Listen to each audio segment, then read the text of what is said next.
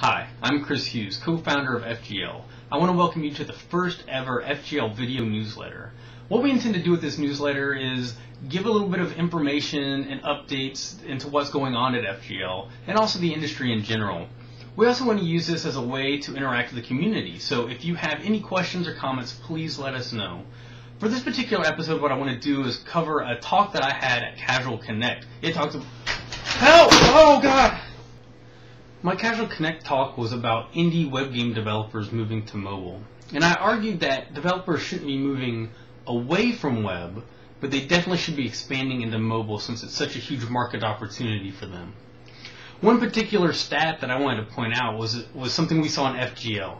Games that are listing for just web license versus games that are listing for web and mobile licenses have a huge difference.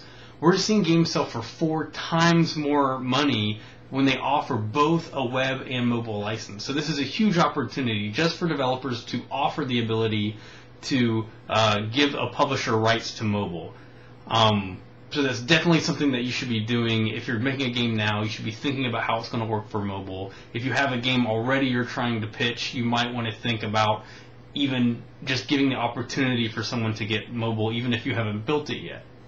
So we're going to keep this short and sweet. We want these to be really quick nuggets of information for you. So that's it for this week. Uh, be sure to check out the FGL forums. We're going to have a, a, a video newsletter forum uh, that we can communicate, and you guys can talk about the episode and tell us what you think. And I'll see you next week.